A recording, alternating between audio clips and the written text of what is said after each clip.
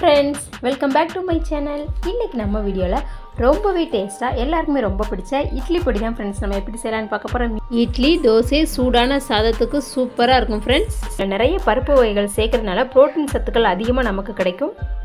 சரியாக சாப்பிடாத பசங்களுக்கு இது போல் செஞ்சு கொடுக்கும்போது ரொம்பவே ஹெல்த்தியாக இருக்கும் ஃப்ரெண்ட்ஸ் நம்ம சூடான சாதத்துக்குமே நெய் கலந்து கொடுக்கும்போது நல்லா சூப்பராக இருக்கும். சாதம் வெரைட்டி ரைஸ் மாதிரியே இருக்கும். நான் வந்து ஃபஸ்ட்டு வந்து துவரம் பருப்பு சேர்த்துக்கிறேன்.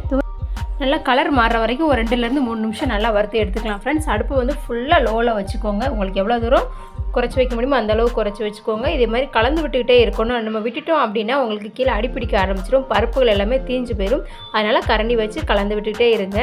அடுத்து நான் வந்து உளுந்தம்பருப்பு பாசிப்பயிறு எடுத்துக்கிறேன் ஃப்ரெண்ட்ஸ் பச் இந்த பச்சை பயிர் வந்து முழு பயிறு. நீங்கள் எதுனாலும் எடுத்துக்கலாம். ஃப்ரெண்ட்ஸ் உளுந்தம்பருப்பு தோல் உள்ளது தோல் இல்லை அதே மாதிரி பாசிப்பருப்பும் எதுனாலும் எடுத்துக்கலாம். என்கிட்ட இது ரெண்டுமே அப்படியே ஆப்போசிட்டில் தான் இருக்குது உளுந்தம்பருப்பு வந்து தோல் இல்லாது பாசிப்பருப்பு வந்து தோல் இருக்கிறது. ஸோ அதனால் ரெண்டையுமே நான் சேர்த்துக்கிட்டேன். நம்ம அதையுமே ஒரு ரெண்டு நிமிஷம் நல்லா வறுத்து எடுத்துக்கலாம். எல்லா பருப்புமே நல்லா வறுத்து தான் ஃப்ரெண்ட்ஸ் எடுக்க போகிறோம் கொஞ்சம் கலர் வந்து லைட்டாக சேஞ்ச் ஆகணும். ரொம்ப கலர் சேஞ்ச் ஆகிடக்கூடாது முக்கியமான விஷயம் என்னென்னா நம்ம அதை வந்து கிளறி விட்டுக்கிட்டே இருக்கணும். இது போல் அல்லது உங்களுக்கு பிடிக்க ஆரம்பிச்சிடும். கருகி போயிடும் பருப்பு எல்லாமே. ஸோ லைட்டாக கலந்து விட்டுட்டே இருங்க. பேலன்ஸ் இருக்கிறது எல்லாத்தையுமே சேர்த்துலாம் பொரிகடலை உடச்ச கடலை வேர்க்கடலை பாதாம் பருப்பு முந்திரி பருப்பு ஒரு அஞ்சு அஞ்சு எடுத்துருக்குறேன்.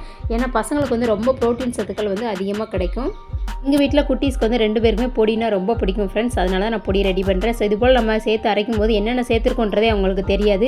தனியாக சாப்பிட கொடுக்கும்போது இந்த பருப்பு வகைகளெல்லாம் பசங்க சாப்பிட மாட்டாங்க. அந்த முந்திரி பருப்பு பாதாம் பருப்பு இதெல்லாம் கொடுக்கும்போது பசங்க சாப்பிடவே மாட்டாங்க. இது மாதிரி சாப்பிடாத பசங்களுக்கு நம்ம இது போல் அரைச்சி கொடுத்துடலாம். நம்ம என்ன சேர்த்துருக்கோன்றதே தெரியாது. அதனால் நம்ம இது போல் சேர்த்துக்கலாம். அப்புறமா பேலன்ஸ் இருக்கிற பூண்டு ஒரு அஞ்சு பல் பூண்டு கருவேப்பிலை ரெண்டு மூணு காஞ்ச மிளகாய் சேர்த்துக்க ஃப்ரெண்ட்ஸ் கருவேப்பிலை நீங்கள் அதிகமாக சேர்க்கனாலும் சேர்த்துக்கலாம். பெரியவங்களுக்கு செய்யும்போது தனியாக கருவேப்பிலை அதிகமாக சேர்த்துக்கலாம். ஏன்னா கலர் கொஞ்சம் மாறினா கூட என் பையன் அம்மா என்ன கலர் மாறி இருக்கு? என்ன சேர்த்திங்கன்னு கேட்பேன். அதனால தான் கலர் தெரியாத அளவுக்கு எல்லாமே கொஞ்சம் கொஞ்சம் சேர்த்துக்கிட்டேன். இப்போ நம்ம எல்லாமே ஆறுனதுக்கு அப்புறமா மிக்சி ஜாருக்கு மாற்றிக்கலாம் ஃப்ரெண்ட்ஸ் தேவையான அளவு உப்பு சேர்த்துக்கலாம். எல்லாத்தையும் நல்லா நம்ம பவுடர் பண்ணி எடுத்துகிட்டு வந்துடலாம். ஃபஸ்ட்டு வந்து நல்லா பல்ஸ் மோடில் போட்டு அரைச்சிக்கோங்க. அதுக்கப்புறமா நீங்கள் நார்மலாக நம்ம அரைச்சிக்கலாம். சூப்பராக ஹெல்த்தியான பொடி நமக்கு ரெடி ஆயிடுச்சு இப்போ நம்ம அதை ஒரு பாத்திரத்துக்கு மாற்றிடலாம் நம்ம எப்பவும் போல் எதில் ஸ்டோர் பண்ணுவோமோ நம்ம இந்த மாதிரி பாக்ஸில் அல்லது இந்த மாதிரி டிஃபன் பாக்ஸ் போல் நம்ம ஸ்டோர் பண்ணி வச்சுக்கலாம். ரொம்பவே ஈஸியாக இருக்கும். நமக்கு ஹெல்த்தியாகவும் இருக்கும். திடீர்னு யாராவது ஒரு ஆளுக்கு தான் சட்னி இருக்குது குழம்பு இருக்குது அப்படின்னா கூட நம்ம நம்ம பொடி சாப்பிட்டுக்கலாம். மெயினாக லேடிஸ் நினைக்கிறதா? சரி ஒரு ஆளுக்கு நான் சட்னி குழம்பு வச்சு அப்படின்னா ரொம்ப மிச்சம் பேலன்ஸ் வேஸ்ட்டாக தானே போகும். அதை ஃப்ரிட்ஜுக்குள்ளே வச்சு சாப்பிடணும். அதை ஏன் ஃப்ரிட்ஜில் வச்சு சாப்பிடணும். நம்ம ஃப்ரிட்ஜில் வச்சு மறுநாள் சாப்பிட்றது நம்ம உடல் ஆரோக்கியத்தை தான் மேலும் பாதிக்கும். அதுக்கு இது போல் நம்ம இருக்கிற குழம்பையும் பொடியையும் நம்ம ஷேர் பண்ணி கூட சாப்பிட்டுக்கலாம். வீட்டில் பொடி அரைச்சி வைக்கிறது ரொம்பவே உதவியாக இருக்கும் ஃப்ரெண்ட்ஸ் இந்த டீ இட்லி தோசை செய்யும்போது எல்லாமே சில டைம் ரொம்ப டயர்டாக இருக்கும் உடம்புக்கு முடியாமல் கூட இருக்கும். அந்த மாதிரி டைம்லாம் பொடி அரைச்சி வச்சுக்கிட்டோம் அப்படின்னா வீட்டில் இருக்கிறவங்க சாப்பிட்டுக்கிடுவாங்க. நெக்ஸ்ட் அடுத்தது இன்னொரு விதமான பொடி என்னென்னு பார்த்துடலாமா? அன்றைக்கி அடுத்து உளுந்தம்பருப்பு பொட்டுக்கடலை உடச்சக்கடலை மட்டும் சேர்த்து அரைக்க போகிறோம் இது டேஸ்ட் ரொம்பவே நல்லாயிருக்கும் ரொம்ப ஹெல்த்தியாகவே இருக்கும். நம்ம அதுபோல் நிறைய வகைகள் சேர்க்கனாலும் சேர்த்துக்கலாம். அல்லது நம்ம இது ரெண்டு பருப்பு வகைகள் மட்டும் கூட சேர்த்து அரைச்சிக்கலாம். இப்போ நான் ஃபஸ்ட்டு அதே போல் உளுந்தம்பருப்பு மட்டும் நல்லா வறுத்து எடுத்துக்கிறேன். இது வந்து உளுந்தம்பருப்பு போட்டுக்களே நம்ம அதிகமாக சேர்த்துக்கலாம் ரெண்டுமே நூறு கிராமுக்கு மேலேயே இருக்கும். இது போல் நம்ம அரைச்சி வைக்கும்போது மேக்ஸிமம் எப்படி ரெண்டு வாரத்துக்காவது நமக்கு வரும் ரெண்டு வாரம் மூணு வாரம் கூட வரும். அடிக்கடி எடுத்தோம் அப்படின்னா உங்களுக்கு பத்து நாளுக்குள்ளே நமக்கு காலியாயிரும். அப்பப்போ தேவைப்படுற டைமில் மட்டும் கொஞ்சம் கொஞ்சம் எடுத்துக்கிட்டோம் அப்படின்னா ரொம்ப நாளைக்கு நமக்கு அதிகமாக இருக்கும். நல்லா உளுந்தம்பருப்பு நல்லா இது போல் வறுத்து எடுத்துக்கலாம். நல்லாவே கலர் மாறிடுச்சு. நல்லா வாசனையாகவும் இருக்கும் வறுத்து செய்யும்போது. ஸோ பொடினால எப்போவுமே நம்ம வறுத்து தான் செய்யணும். எல்லாருக்கும் தெரிஞ்சது தான் ஸோ இருந்தாலும் ஒரு டைம் சொல்கிறதுக்காக சொல்லிக்கிறேன். புதுசாக செய்கிறவங்களுக்கு எப்படி ஒரு சில டிப்ஸ்கள் தெரிஞ்சிருக்க வாய்ப்பு இருக்காது. ஸோ தெரியாதவங்களும் தெரிஞ்சுக்கிட்டும். அடுத்தது நம்ம பொரிகடலை சேர்த்துக்கலாம். எங்கள் ஊர் சைடெலாம் பொரிகடலைன்னு தான் சொல்லுவோம். அந்த சைடு எல்லாமே உடச்சக்கடலை பொட்டுக்கடலை அந்த மாதிரி சொல்வீங்க.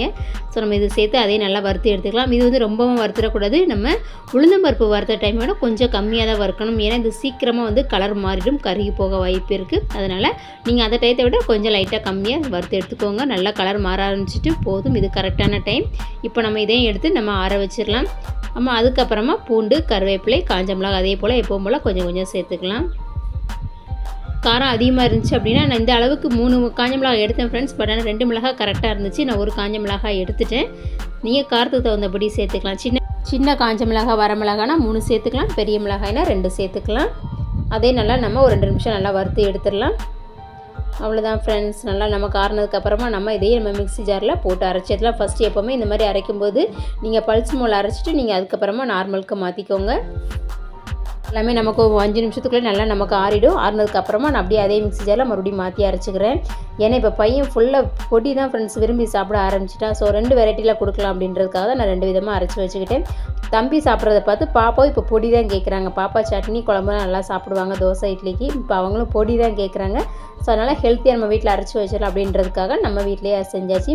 நீங்கள் கடைகளில் வாங்கினீங்க அப்படின்னா காரம் அதிகமாக இருக்கும். ரொம்ப ஒரு மாதிரி ஸ்பைஸியாகவே இருக்கும். சில டைமில் ஒரு மாதிரி வாடையை அடிக்க ஆரம்பிச்ச மாதிரி எண்ணெய்ச்சிக்கு வாடை மாதிரி அடிக்க ஆரம்பிக்கும். நீங்கள் அதுக்கு வீட்டில் நம்ம இது போல் செஞ்சு வைக்கும்போது உங்களுக்கு சீக்கிரமாக அந்த மாதிரி ஸ்மெல் எல்லாமே வராது. ஸோ அதனால் வீட்டில் இது போல் ரெடி பண்ணிக்கோங்க. நமக்கு அடுத்த பொடியும் நமக்கு ரெடி ஆயிடுச்சு காரம் பத்தலை அப்படின்னா நீங்கள் ஃபைனல் லைட்டாக மிளகாத்தூள் கூட ஆட் பண்ணிக்கலாம் ஃப்ரெண்ட்ஸ் ஓகே ஃப்ரெண்ட்ஸ் நம்ம சேனல் பிடிச்சின வீடியோக்கு மறக்காமல் லைக் கொடுத்துருங்க. ரெகுலராக பார்க்குறதுக்கு நம்மளோட சேனலை சப்ஸ்கிரைப் பண்ணிக்கோங்க. முடிஞ்சால் உங்களோட ஃப்ரெண்ட்ஸ் ரிலேட்டிவ்ஸ்க்கும் ஷேர் பண்ணுங்கள் செஞ்சு பார்த்துட்டு பொடியோட டேஸ்ட் எப்படி இருந்துச்சு எனக்கு மறக்காமல் கமெண்ட் பாக்ஸில் கமெண்ட் பண்ணுங்கள் ஓகே ஃப்ரெண்ட்ஸ் பாய் நெக்ஸ்ட் வீடியோவில் மீட் பண்ணலாம். Thank you friends thanks for வாட்சிங் தேங்க்ஸ் ஃபார் யுவர் சப்போர்ட்